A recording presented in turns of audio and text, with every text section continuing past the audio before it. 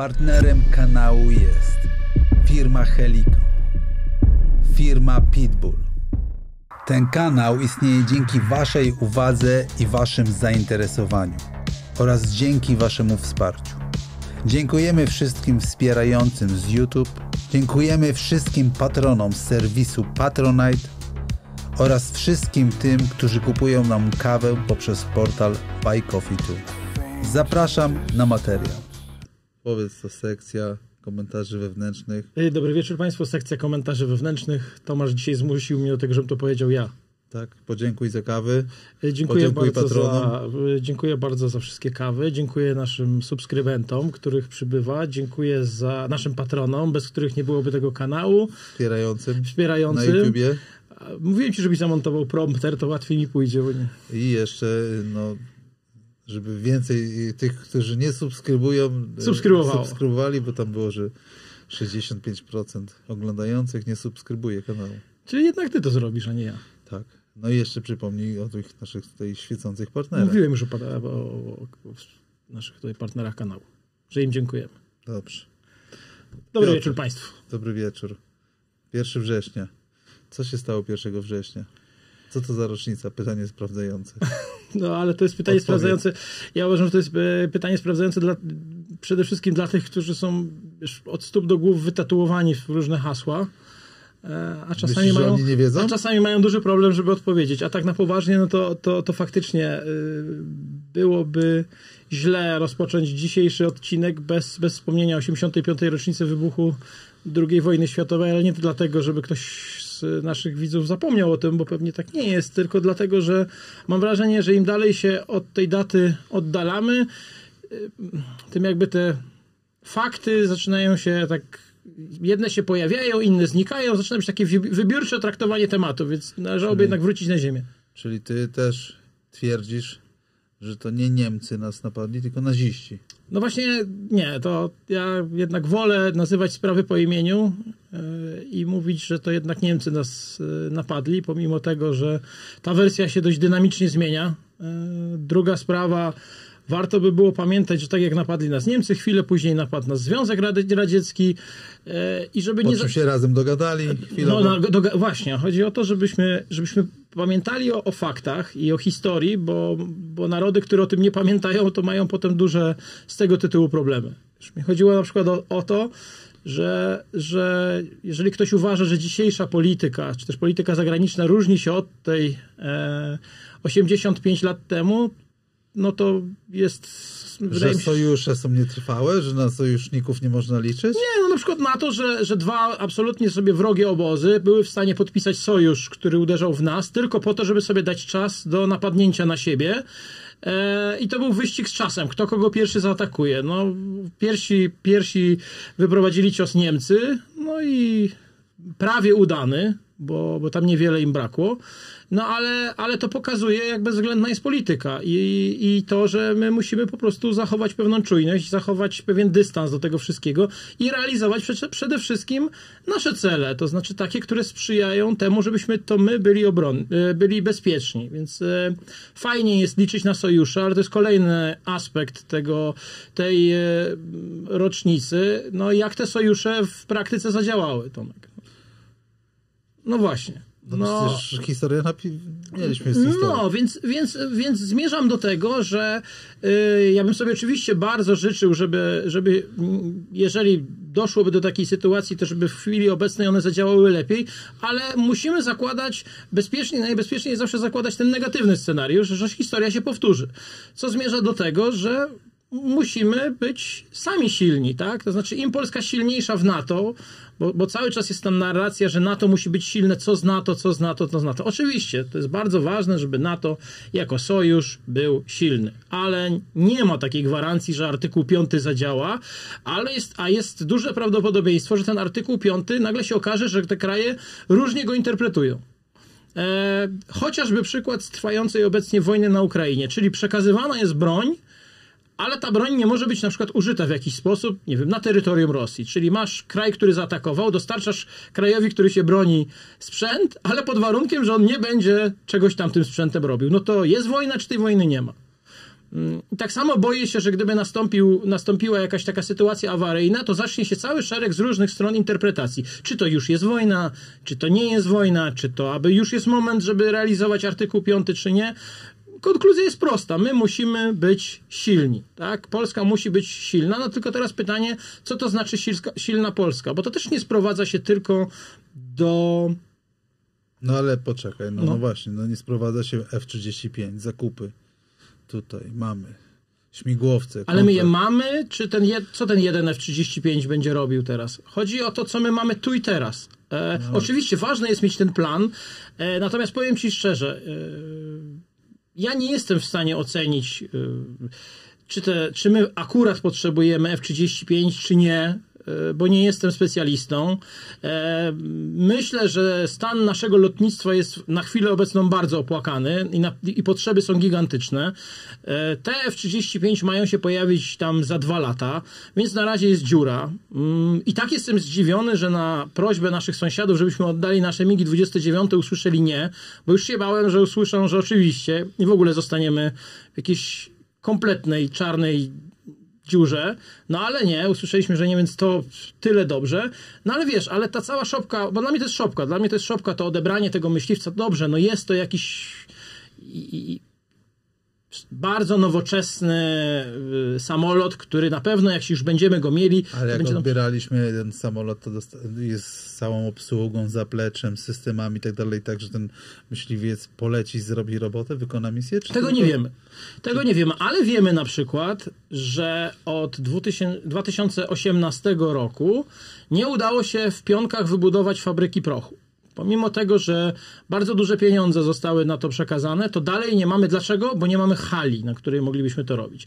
Więc trochę Mamy, jak jeżeli mamy pośród widzów jakiegoś e, inżyniera, konstruktora HAL, to To, jest, to, jest, to, to polska grupa zbrojeniowa, zakłady MESCO mają tak. duży problem z tym, Tak. żeby wybudować halę, w której mogłaby nastąpić produkcja prochu.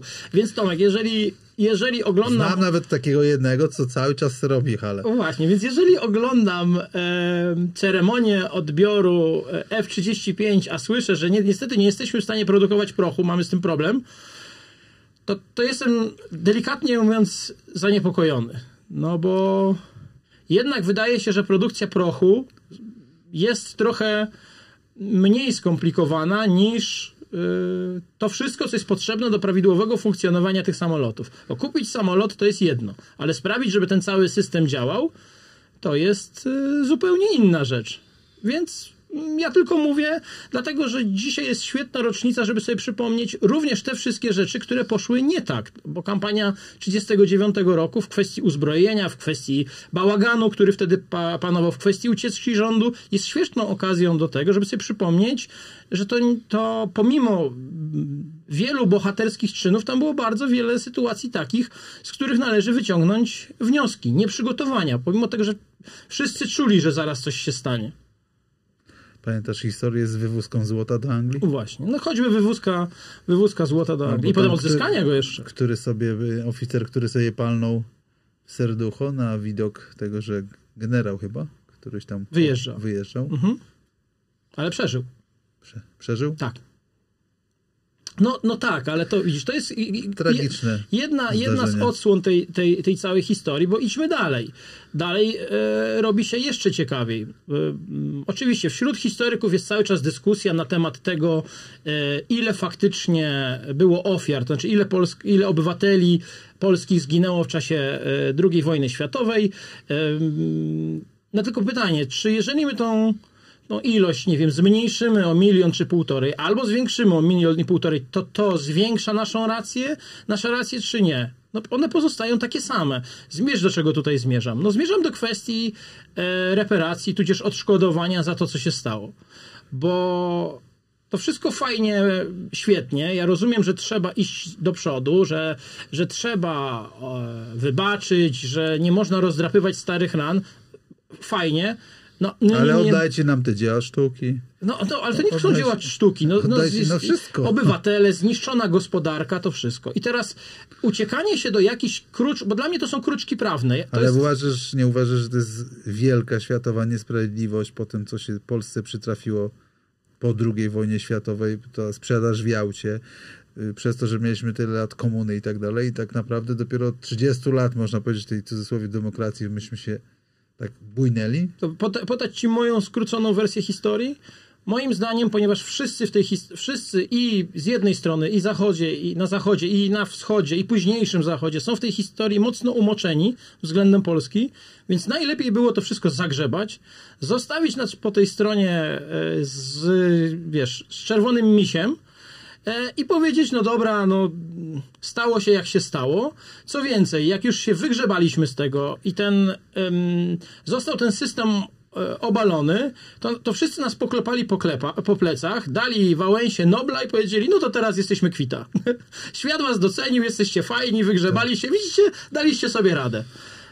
A ci, którzy rozpieprzyli pół Europy, dostali jeszcze wsparcie od Amerykanów no na tak, no odbudowę i, i o tym Tomek cały i czas trochę rozma- świętego spokoju. o tym rozmawiamy, e, że to, żeby, że życie toczy się dalej, to fajnie, ale nam się coś należy i to jest nasza polska racja stanu, żeby o tym na, cały czas przypominać.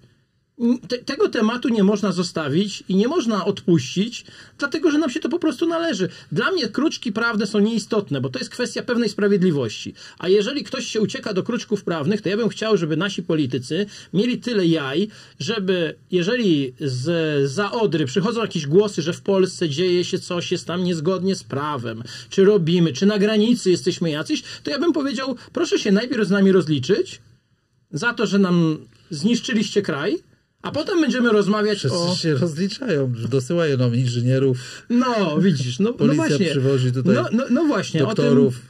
o tym rozmawiamy. Więc masz, masz kolejną kwestię, która, którą wypada przypomnieć przy okazji tej, e, tej rocznicy. E, dalej. Mm, To, co się stało z polskimi żołnierzami i niepojawieniem się ich na przykład na defiladzie zwycięstwa, zwycięstwa prawda? Czyli Brytyjczycy, żeby nie denerwować Stalina, misia, nie denerwować misia. Chodzi mi o to, jak, jak szybko potrafi się zmienić wiatr, jak wiatr historii potrafi zawiać w prawo, w lewo i, i nagle bohaterowie stają się ludźmi bardzo niewygodnymi. I ci A tutaj lotnicy, Monte Cassino. Monte, no, no, no bohaterowie, ludzie, którzy po prostu oddawali życie, e, nagle stają się niewygodni i się ich zamiata na śmietnik historii i zostają magazynierami, e, ciężko im znaleźć robotę, no bo, bo generalnie najlepiej by było, żeby o nich e, zapomnieć. No i teraz znowu, czy, czy świat, czy ludzie się tak bardzo zmienili? Moim zdaniem nie. Dlatego... Chyba e, teraz by jeszcze szybciej zapomnieli. Wydaje mi się, że tak. Znaczy, wiesz co, dużo szybciej dałoby radę zbudować narrację, która by to przykryła, bo dzisiejsze media, ich siła, to, to, ta, ta, ta siła internetu i wszystkiego powoduje, że jesteś w stanie historię wykreować z niczego, nakryć to czapką i już, nie, co więcej, wy, wyciągniesz jakiegoś celebrytę czy jakiegoś historyka i on nagle krzyknie to tak nie było, ja to badałem, albo moje ulubione, moje ulubione od jakiegoś czasu e, naukowcy z Harvardu, albo naukowcy skądś. Nie, nie wiadomo, Eksperci. naukowcy. E, badania naukowców z Harvardu wskazują, że jedzenie cegieł jest bardzo zdrowe. Mm. I dlatego teraz OBI będzie sprzedawało żywność.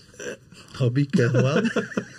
Więc rozumiesz, to, no, to, no to jest. mm, Tak ten dzisiejszy świat e, działa. Jeżeli my będziemy o pewnych rzeczach zapominali, to, to będzie źle. A to wszystko to prowadzi do tego, że e, mówiliśmy o tym F-35, mówiliśmy o nieudolności. Czy, czy, czy to jest nieudolność, czy to jest nieumiejętność, czy to jest coś więcej? Tego nie jestem w stanie ci powiedzieć, tak? No bo, bo przecież można sobie łatwo wyobrazić sytuację, w której jednak jakieś lobby jest odpowiedzialne za to, żeby w Polsce pewne, pewne, pewne gałęzie przemysłu się nie rozwinęły gdzie, gdzie już mamy jakby możliwości, ale się to e, nie dzieje. Choćby na własne potrzeby. Ja już nie mówię o tym, żeby Polska była jakimś dużym graczem na, na rynku unijnym jako dostawca e, amunicji, ale czemu nie? Ale chociaż na nasze wewnętrzne mm, potrzeby. No ale nagle mm, okazuje się, że wybudowanie hali jest rzeczą prawie niemożliwą. No to Ale olimpiadę możemy zorganizować. o, no słuchaj, no olimpiada to jest zupełnie co innego. O no, CPK żeśmy już zapomnieli. To jest kolejny ciekawy temat, że mówisz dzisiaj e, o CPK, bo zobacz, ta Polska, e, która została napadnięta 1 września, zrealizowała taki projekt jak port w Gdyni. Czyli przekształciła wioskę rybacką w krótkim czasie gigantycznym nakładem środków, środków własnych. Tam kapitału prywatnego było bardzo niewiele. To był projekt państwowy, była pewna wizja. Ja coś ostatnio na ten temat czytałem. Tam nie było nawet tak zwanego dzisiaj, to wiesz, dzisiaj byśmy to nazwali masterplanu.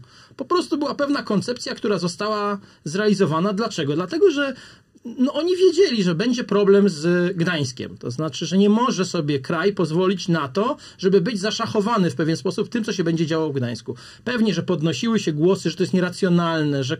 No ale historia pokazuje, że to było bardzo potrzebne i ta Gdynia bardzo szybko osiągnęła status tam dziewiątego e, pod względem przeładunków portu w Europie, z, z, startując od zera. Więc to, I dało się to zrobić? Dało się to zrobić. No i ja nawiązuję właśnie do dzisiejszego CPK. Tylko problem, pro, problem CPK, e, wydaje mi się, i tych problemów jest bardzo wiele. Począwszy od tego, że na pewno nasze otoczenie, czyli ja mówię o, o naszych sąsiadach, nie jest za bardzo zainteresowane tym, żebyśmy to CPK posiadali, żeby ten projekt został zrealizowany. Sprawa numer dwa.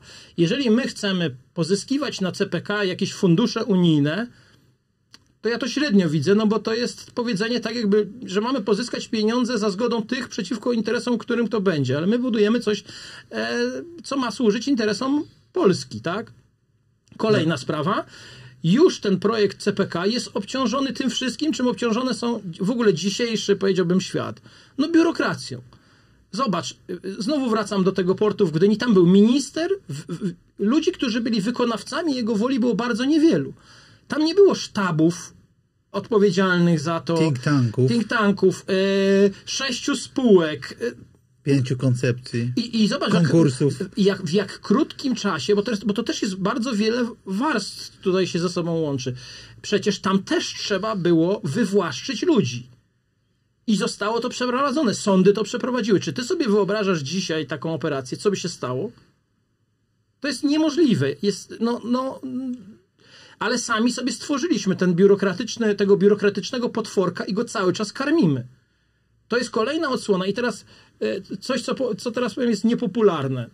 Często widzowie mówią, no ale panowie, to tylko, tylko rozmawiacie, to tylko jakieś tam hasła, czasem się zgadzają widzowie, czasami nie, ale gdzie rozwiązania? No ale jednym z rozwiązań jest to, że nasi widzowie i obywatele muszą po prostu wziąć odpowiedzialność za to, co robią. Czyli nie może być tak, że filolog y, przyjmuje, tam było, było chyba ośmiu prezesów, siedmiu albo ośmiu prezesów MESKA od 2018 roku, przyjmuje pozycję prezesa, stanowisko prezesa spółki, nie mając żadnej wiedzy na ten temat, ale no przecież co tam, to, to nie jest problem. No to jeżeli, jeżeli ktoś wnosi taką elementarną odpowiedzialność za to, co robi, to to nie przyjmuje takiego stanowiska bo wie, że to nie będzie służyło. Jeżeli to jest, jeżeli to jest spółka mm, polskiej grupy zbrojeniowej, no to, to, to, raczej są istotne podmioty, tak? Dla naszego bezpieczeństwa, dla, dla funkcjonowania całego mm, kraju.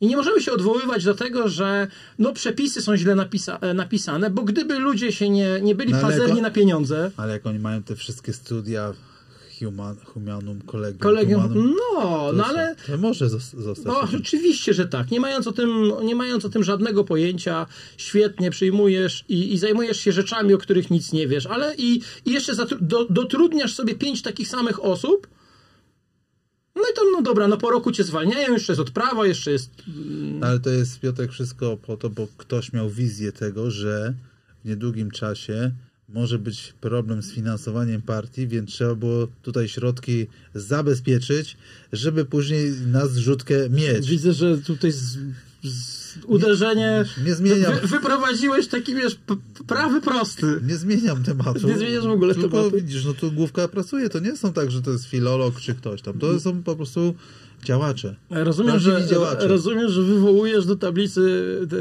temat, te, główny temat zeszłego tygodnia nie, w Polsce. Wrócimy zaraz do tego, Aha. wrócimy, ja, bo ja chciałem się jeszcze tak właśnie, nie, nie sprawdzałem w ogóle i nie wiem, gdzie to dokładnie sprawdzić, jak wygląda właśnie ten nasz centralny port y, komunikacyjny. Myślę, że nie wygląda. Myślę, że nie etapie wygląda. jest, co się dzieje, czy ktoś już coś tam buduje i tak dalej, nie? Czy to dalej jest nie, wyciepiane, ale, ale... albo nawet takie zamiatanie pod dywan sprawy.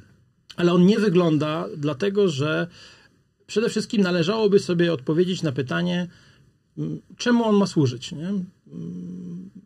No, Polsce ma służyć. To ja wiem, że on ma Polsce służyć, ale co ma być jego domeną? To znaczy, co, co ta, to rozwiązanie ma do tego układu wnieść? Czy mówimy tylko o bycie hubem lotniczym dla linii, e, nazwijmy to turystycznych, to jest jedno, nie? No ale przecież dalej mamy to, że mógłby być punktem wejścia wszelki, wszelkiego transportu towarowego, lotniczego, który się, gigantycznego, który się odbywa, tak?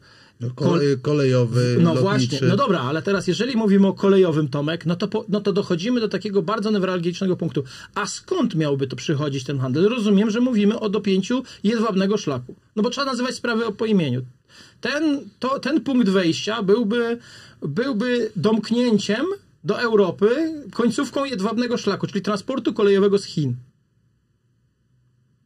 Tyle tylko, że ja uważam, że to jest w interesie Polski, bo my się musimy rozwijać multikierunkowo, wielokierunkowo. Nie możemy odrzucać żadnej opcji, bo to, co wielokrotnie zostało powiedziane tutaj w naszym studiu, to jest nasze położenie nam i nie sprzyja, patrz 1 września 1939, ale sprzyja nam w kwestiach handlowych, bo my jesteśmy łącznikiem między wschodem a zachodem, tylko w ogóle tego nie wykorzystujemy. I dla mnie idea CPK to jest idea wykorzystania tego swojego strategicznego położenia. Tylko żebyśmy my wykorzystali to strategiczne położenie, to my się nie możemy obrażać na wszystko, tylko z, ze wszystkimi rozmawiać, bo tak naprawdę nasza y, niezależność, nasza y, siła polega na tym, jak będziemy zamożni i będziemy w stanie jak najwięcej rzeczy sami y, wytworzyć. Czyli chcesz z nas zrobić kupców, którzy sobie później wynajmą to wojsko do obrony. Tak jak to od dawien dawna robili ci w Europie. Wiesz co, ja bym, Włosi, ja bym poszedł dalej. Ja bym nie wiem, ja bym chciał nas zrobić tak bogatych kupców, że się ich nie opłaca atakować. Bo każdy ma z nimi interesy. Na zbrojnych i tak będą swoich mieć. A i, i żeby było śmieszniej, to, to już historia wielokrotnie pokazała, że bogatych kupców bronią inni, którzy bez tych kupców będą mieli gigantyczne problemy. Myślałeś o tej prezydenturze? Nie, nie myślałem o tej prezydent, ale już, i wiesz, bo już pierwszy kandydat jest, w tym tygodniu się zgłosił. Kto? Pan Mencen ogłosił oficjalnie jako pierwszy, że startuje. No przecież oni mieli ten stolik wywrócić, to może niech wywrócą ten stolik. Chyba się okazał za ciężki, powiem ci. Albo mają za mało ludzi do wywrócenia, albo już, stolik jest za już ciężki. wszystko zostało wyłagodzone, nie? Że tam już z tej piątki Mencena słynnej odnośnie nawet tam było e, tego kraju nad Morzem Śródziemnym też i tak dalej, że to wszystko już jest tak wyciszane. No. no ale widzisz, ale to tym, tym sposobem... Ale Janusz Korwin-Mikke, e, oglądałem ostatni wywiad, e, tworzy nową partię.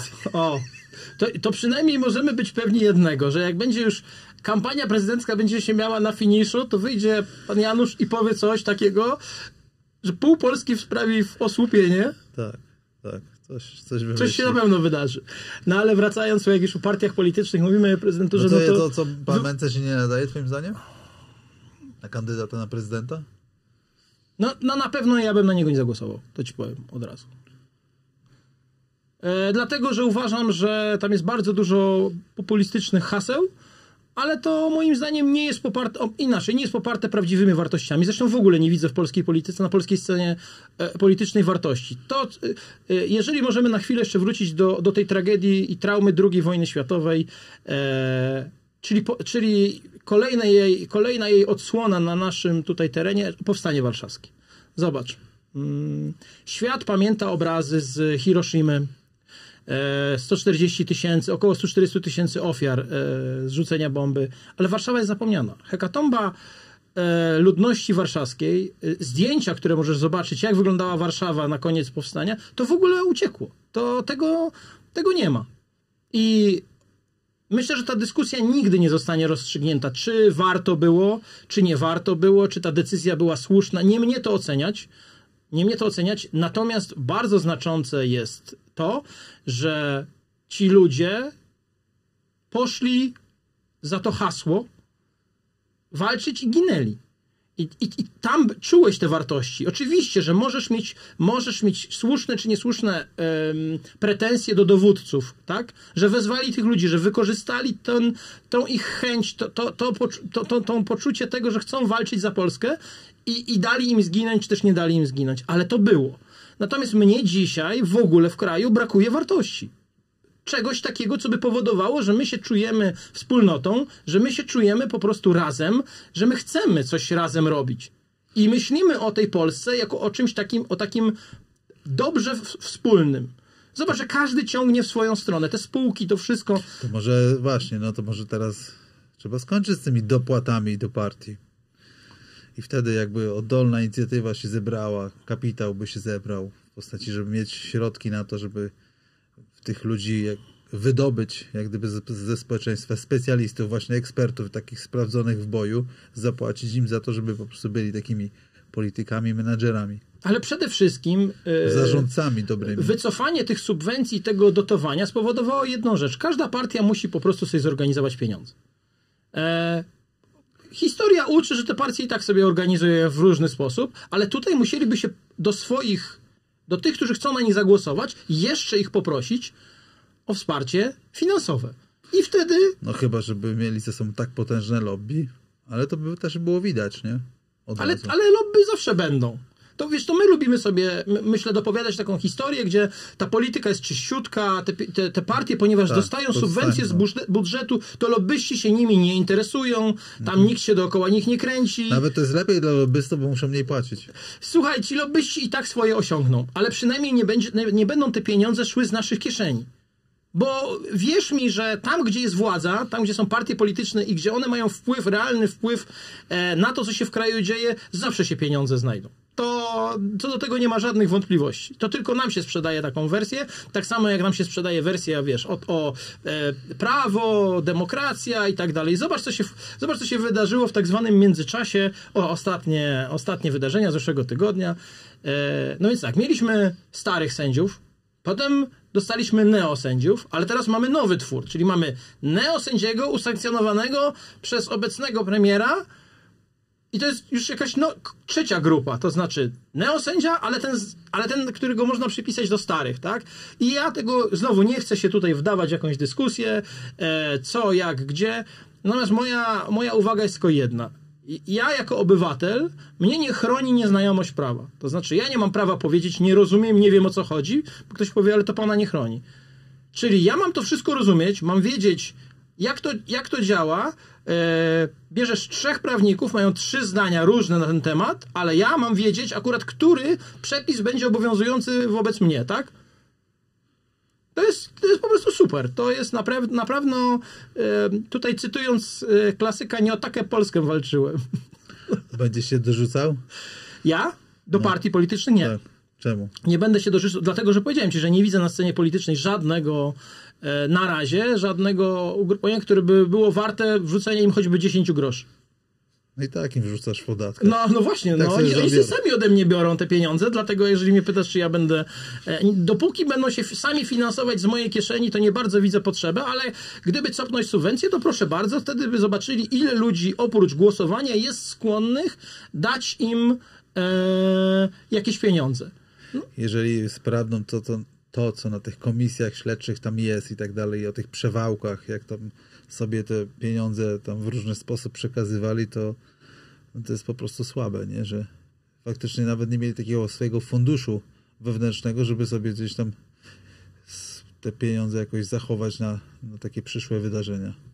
Wiesz co, ale to ja się boję innej rzeczy. To czy to, że czy to się okaże prawdą, czy nie, ale boję się, że wiesz, że taki proces, bo zobacz, w większości przypadków to działa tak, że taki proces raz zainicjowany nigdy się nie kończy. On się nie cofa, on się tylko bardziej rozlewa. No i teraz wracamy do tej naszej e, wcześniej wspomnianej II Rzeczpospolitej. Jaka w niej była kara za defraudowanie środków publicznych wobec urzędników? No jeżeli wydaje się, że co do jednego wszyscy są zgodni e, w naszym kraju, politycy są zgodni, że trzeba naśladować rozwiązania drugiej RP. No to proszę bardzo, nic prostszego. Proszę wprowadzić wobec samych siebie takie kary. I zobaczymy, e, Nie, jak to, to już, wtedy im już to pójdzie. nie jest zgodne z, jak gdyby z, z moralnością Unii Europejskiej. A, rozumiem. Ołów do głowy to nie jest dobre rozwiązanie. No to, to, ale to były inne jeszcze rozwiązania, bo tam nie tylko był ołów, tam, może, tam jeszcze było był stryczek, bo tam parę rozwiązań innych było. To y, oczywiście, że nie jest zgodne, dlatego że y, tak jak to znowu coś ale niepopularnego. zobacz, no to, to jest też ciekawe, nie? Za, za to, że jesteś że otwierasz sobie taką trochę nielegalną działalność typu karuzela VAT. Mhm. Teraz to zwiększyli nazwali to zbrodnią VAT-owską, masz Mhm. tam do 25 lat, no ale jak ty tam budujesz powiedzmy elektrownię w Eł- w Ełchatowie za już nie wiem, prawie miliard złotych, tak? Mhm. Ponad chyba. No. To, to ci nie grozi nic, bo jesteś politykiem, i- ale i miałeś dobre chęci. No ale oczywiście. A przy tym, i teraz, gdzie ten miliard się rozpłynął? No ale Tomek, ale masz... Które firmy to zarobiły? Ale Bo ja dzisiaj przypomnę, e, pamiętasz mój słynny udział w przetargu na wypas owiec. owieczek? Oczywiście, Okazuje się, że ten sam gość wygrał znowu czy, drugi czy trzeci raz z rzędu przetarg, nie? No, Na no. wypas owieczek. No, ale wiesz ile, wiesz ile zostało przekazane do tej pory y, dotacji Mesku na, na tą fabrykę prochów w Pionkach? 460 milionów z tego, co wyczytałem. I jeszcze dalej, się nie udało. I dalej nie ma. I jeszcze się nie udało. To wyobrażasz sobie, żeby tak wziąć, nie wiem, tych takich ludzi, wiesz, hobbystycznie zajmujących się prochem, nie? Którzy sobie robią amunicję i tak dalej, ile by powstało fabryk? Ja, ja mówię, Tomek, o tym, o skali wydatkowanych pieniędzy versus rezultaty. No, no To to, jest- i teraz jaką karę tutaj zastosować do takiego nie, do takiej niegospodarności? Dla przykładu. Żeby Znaczy, ja, ja, ja ci powiem, ja uważam, że to, to są, dla mnie to jest, najlepiej jest odpracowywać. nie, no ale jak on ma odpracować miliard? Czy 400 milionów? No to praca do końca życia, to coś tam odpracuje. No bo innej, innej metody Tomek nie ma. Nie ma żadnej odpowiedzialności za to, co się Ale jak on, dzieje. no to już teraz kończąc, No. ale jak on nagle przy tej całej, wiesz, przy tym szaleństwie gender nagle stwierdzi, że on jest furzakiem. No właśnie, historia tu, co szanowni wtedy? Państwo, powiedziałem Tomkowi przed, przed e, rozpoczęciem Nie, nagrania, że mam dla niego, dla niego nowe określenie, czy wie, kto to jest furzak. Ja nie wiem, No. czy Państwo wiedzą, kto to jest furzak. Podejrzewam, że Więc wczoraj, wczoraj jadąc samochodem przez, przez Kraków, yy, stojąc w zasadzie w korku, bo już się zaczęły, z, zaczyna się nowy rok szkolny, więc zaczynają się korki, stałem pod e, kinem Kijów i tam jakieś takie, było takie zgromadzenie. No ciężko mi było tak na, na szybki rzut oka, jak to za kierownicą, co to jest, ale mówię do córki, która obok siedziała, która ma prawie 17 lat, mówię, zobacz, mówię, jakie dziwne zgromadzenie ludzi. Ona mówi tak, o ja pierniczę, jakiś zlot furzaków. Ja mówię, słucham? A on furzaków ale kto to są furzaki? A ona mówi, no, mówi, wiesz, ci wszyscy, którzy sobie przyczepiają ogony, uszy.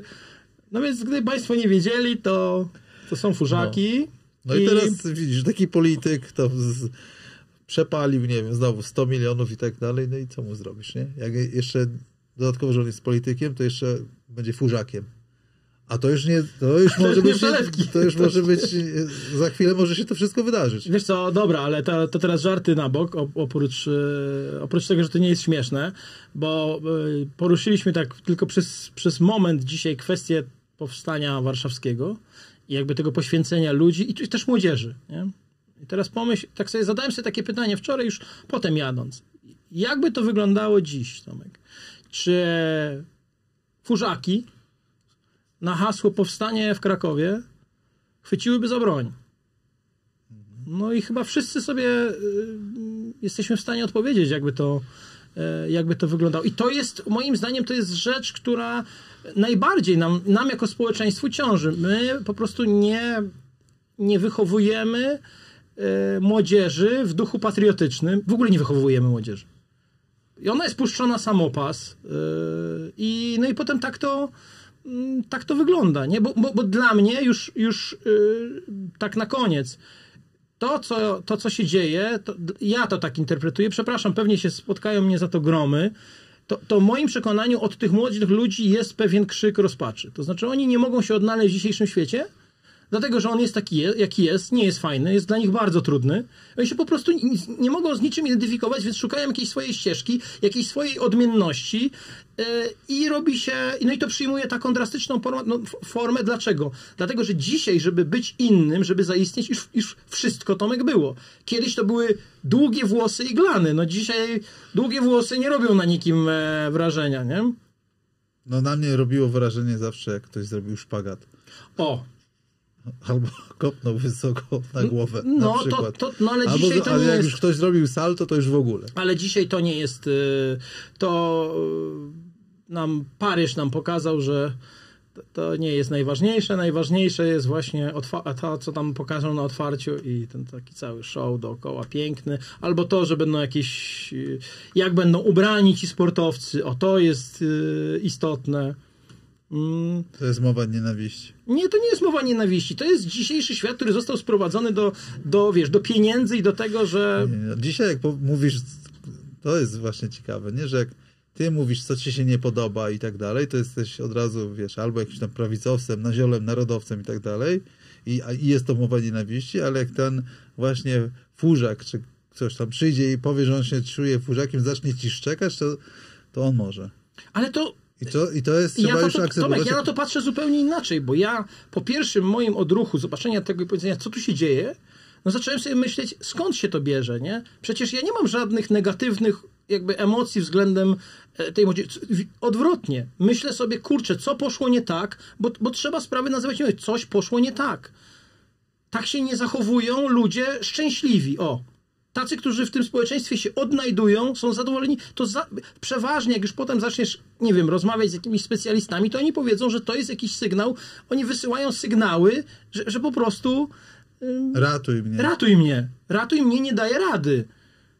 Prze, przez to chcę pokazać, że daje radę i, i, jakąś swoją odrębność i inność, przez to że, to, że nie czują się w tym społeczeństwie dobrze. Wiesz co, tak teraz pomyślałem, że może tak by warto było zaprosić jakiegoś rodzica furzaka, nie? No i pytanie wtedy, czy rodzic furzak też chodzi z doczepianym noskiem? Nie, myślę, że nie, ale myślę, że jest tak, że, że najczęściej ten on... Y, y, postawiony przed faktem dokonanym, przegapił ten okres, kiedy to dziecko wysyłało sygnały pod tytułem Zainteresuj się Zainteresuj mną. się mną, bo, bo po prostu nie radzę sobie, jest mi źle. A teraz nie przyzna się przed samym sobą, że to przegapił, więc to uważa, że to jest, wiesz, wstyd.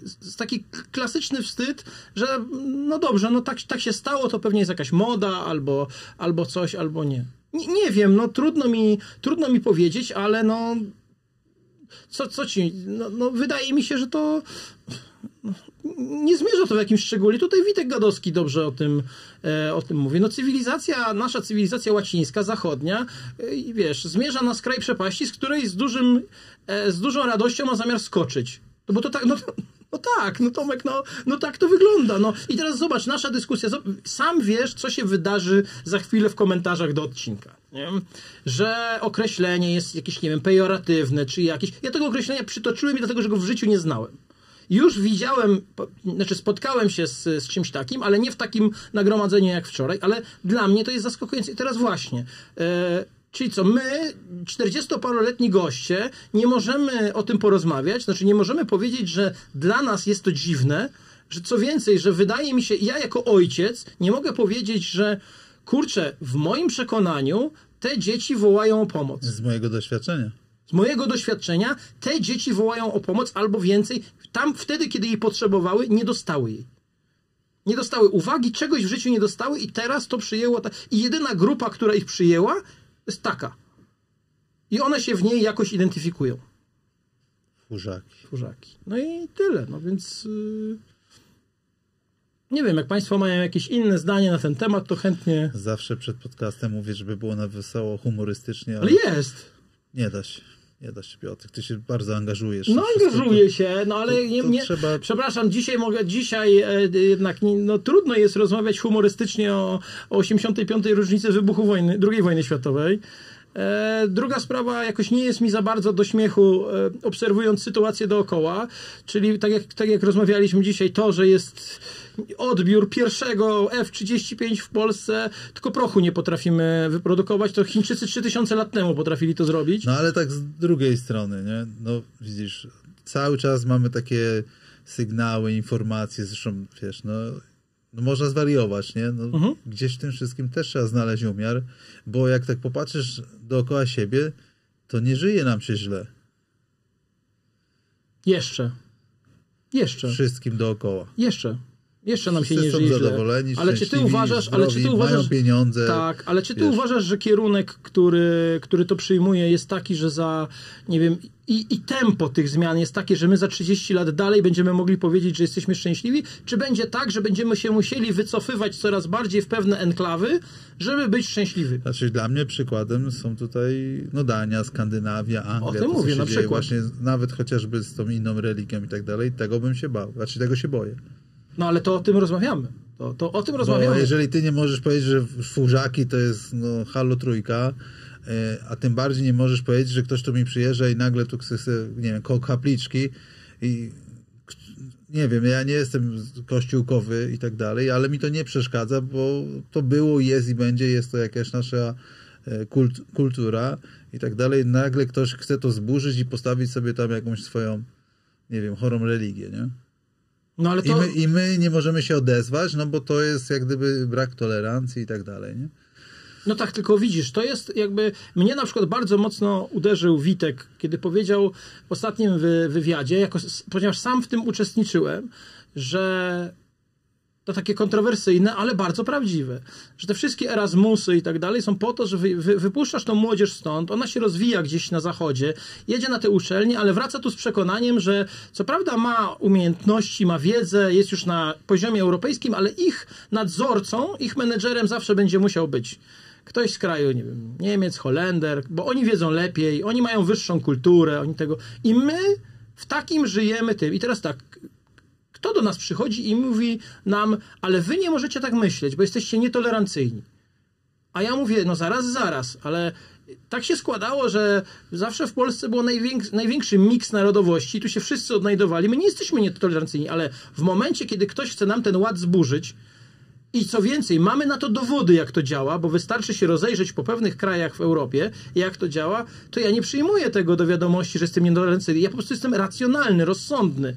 Nie chcę, żeby się wydarzyło u nas to, co się wydarzyło gdzie indziej. Nie chciałbym, żeby w któregoś dnia dożyć takiej sytuacji, że ja w Krakowie dzisiaj nie bez strachu wychodzę na ulicę na spacer, żeby było tak jak w Szwecji, tak jak rozmawialiśmy, że starsi Szwedzi w małym miasteczku boją się przejść główną ulicą, bo to już nie jest ich kraj, nie jest ich miasteczko.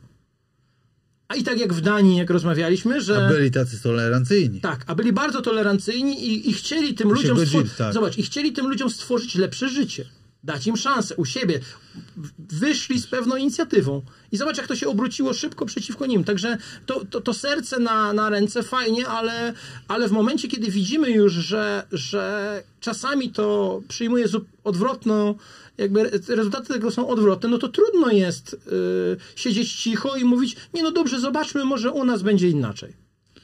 Boję się, że dożyjemy czasów, że biały człowiek będzie jak ten ostatni Mofikanin. No, no to widzisz, to jeszcze kończąc nasz, nasz, naszą dzisiejszą dyskusję, to jest kolejny problem e, w moim przekonaniu Europy, która próbuje nam, Polsce, narzucić e, wiele rzeczy, wie, wie, narrację pewną i tak dalej, a teraz chciałaby, żebyśmy my, czyli tym pakietem migracyjnym, wypili razem ze wszystkimi piwo, którego oni naważyli. Bo przypominam ci, że e, w moim przekonaniu bardzo duża część problemów e, e, imigrantów, to, jest, to są problemy, które się zaczęły od kolonializmu. Czyli Nas wozili tych ludzi. nas wozili, najpierw okradli ich, potem ci ludzie zaczęli, jak już, im, jak już tam nic nie zostało, zaczęli do tych swoich mateczników zaglądać, bo może tam coś będzie, a teraz mm, próbują nam powiedzieć, a teraz wypijmy wspólnie to piwo, którego myśmy naważyli i dzięki któremu zbudowaliśmy te fortuny, dzięki któremu my jesteśmy zachodem, a wy jesteście bidokami. Weźcie ich. No, Przygar- przygarnijcie. Weźcie ich też, część sobie weźcie, na pewno będzie wam fajnie. Tyle. Super, Piotrek. Ja No, dziękuję bardzo na dzisiaj. Myślę, że powiedziałem na tyle e, różnych rzeczy, że tam będzie się mocno działo. Na pewno jakiś odezwie się do ciebie furzak i wyrazi swoją opinię. Ale ja bardzo chętnie porozmawiam. Ja bardzo jestem otwarty, y, bo tak jak ci powiedziałem, ja nie żywię, naprawdę nie żywię żadnych złych emocji. Uważam tylko, że y, co więcej, A jak no, nam zablokują wjazd tutaj i będą szczekać przez bramę? Widziałem taki filmik, jak tam szczekają do ludzi też. no nie wiem, ale to mieliśmy, mieliśmy tutaj chyba z gromu kogoś, kto ten, kto się zajmował. Pieskami? To może da radę to jakoś ogarnąć. Nie, no z furzakami sam sobie poradzę. Dziękujemy bardzo. Dziękujemy. Jeżeli uważasz, że ten materiał był godny Twojej uwagi, to dla taktycznego zasięgu polub, udostępnij, zasubskrybuj. Możesz również zostawić działający komentarz taktyczny na minimum 7 słów.